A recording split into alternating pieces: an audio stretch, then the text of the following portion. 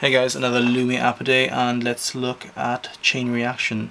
There are various types of chain reaction games on different platforms um, and it is very simple to pick up. Basically you're going to want to explode them in the chain reaction so as one explodes you're going to want to get another particle to explode so just pick the one where you think they're converging so just about there and it tells you how many you need. In this particular game we need two, so we have two.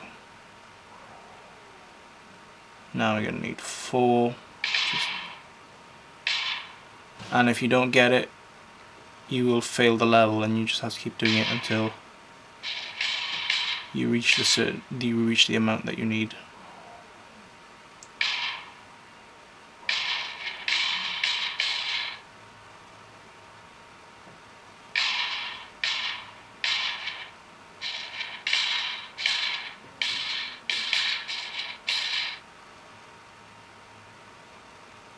And that will keep increasing in the amount of particles that are on screen and the amount that you need to explode in the chain reaction. Let's look at the main menu and you have other types of games so you've got extended mode 20 levels, epic mode 30 levels and insane mode. Let's look at insane mode. You need one. You failed. There you go.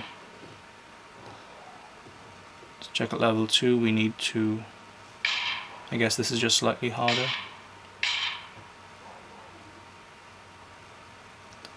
So that was chain reaction demoed on the Nokia Lumia 800. Thanks a lot.